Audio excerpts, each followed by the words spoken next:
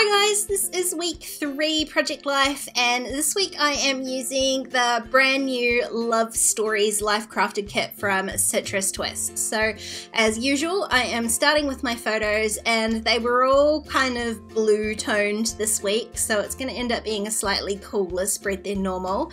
Um, and I also had a lot of 3x4s, I didn't have a lot of 4x6 photos.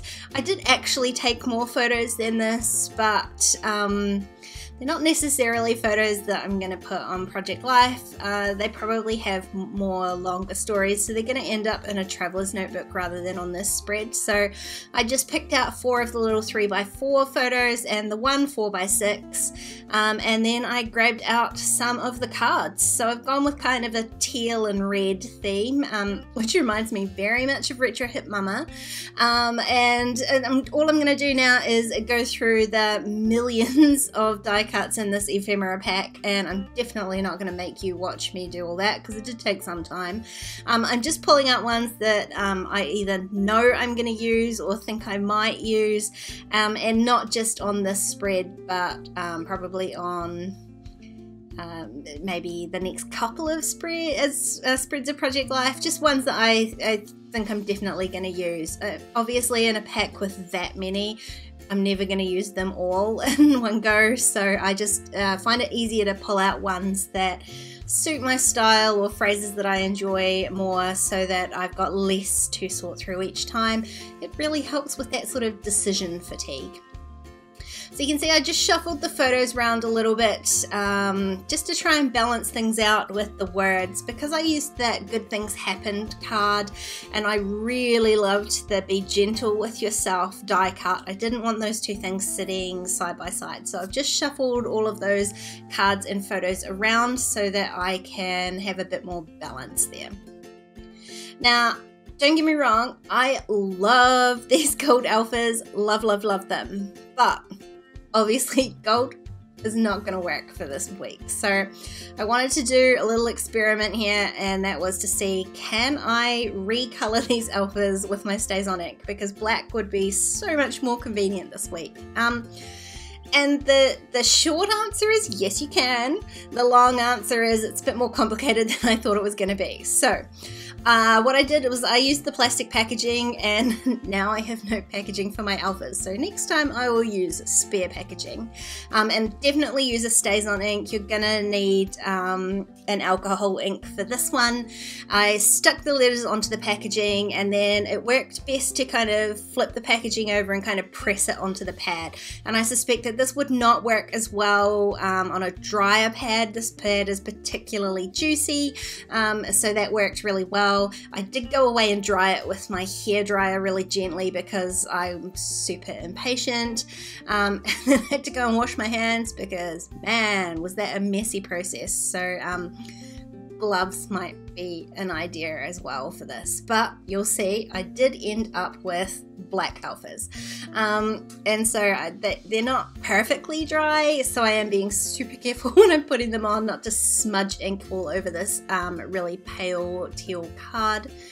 But I'm really pleased with that. I'm pleased with the way it worked. I mean, obviously, if you've got other colors of StazOn ink, then that would probably work too. But the black works for most alphas, I find. You've seen me um, change cardboard alpha stickers before, but these, um, I don't know what they're made of, plastic, I guess, puffy alphas, it worked as well. So good to know. Now, I'm not worrying about a label again this week. It's not going to be a huge rule for myself um, this year for my Project Life, so I'm just date stamping underneath. And so far, this is a pretty plain looking title card. Um, the rest of the spread is quite busy, so I don't want to add too much to this, but um, you know, you'll know how I feel about this sheet of puffy, puffy heart stickers. I, you know, my heart skipped a beat when I saw it, so I'm going to add just a few of those. I'm not going to add them to the rest of my spread because, like I said, it, I, I feel like it's looking quite busy already. There's lots of words and cards and colours, so I'm just going to leave those as a feature of the title card. And it also pulls that red into the top, the red and the pink, um, and just ties together that colour, colour scheme. So I'm going to add this really large die cut onto my photo and it sort of fit perfectly. Um, if I had reprinted the photo I would have maybe done it a bit smaller but it worked really nicely and then I added all of my journaling for the week onto that one journaling card. So the rest of my cards are going to be quite simple. Uh, the little heart card I just added one die cut to it and because it is going to end up in a 4x6 pocket I am just taping it to the photo next to it. Now this was quite a cool little prompt card I decided to add in as well. It's not really journaling so much as just little snippets from the week, maybe rules for a good life. Um, I just added a few thoughts from the week into there and then taped that again to the photo because that's going to go into a 4x6 pocket as well. Now the rest of my spread is really just going to be stamps because I always love the stamps from Citrus Twist so much and these ones are really pretty. I mean obviously the theme for this month is love stories. Um, this spread has so many different types of love on it. Um, I thought it was really appropriate. So um, self care, and obviously my new little nephew Jack, and the overwhelming love that I have for him. There's my little Lil Lil on there. There's a photo of me driving home. Um, home is a big part of my love story, so that was super appropriate too. So I was just really pleased that this. Um, quite heavily themed stamp set. It actually does fit regular life as well, not just, you know, romantic stories. So you can see all I'm doing is basically adding stamps to these photos. The little one of Jack, I did add that tiny die cut above um, that says hold me, um, just because I couldn't not. It was too beautiful.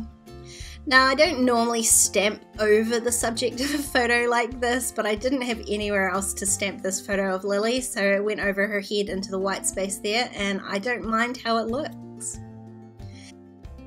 So that's this week all done, and I am really enjoying how this turned out. If you enjoyed this video, please give it a thumbs up, leave me a comment, and don't forget to subscribe if you haven't already. If you want to keep watching, there's a couple more videos on screen. Otherwise, I'll see you next time. Bye, guys.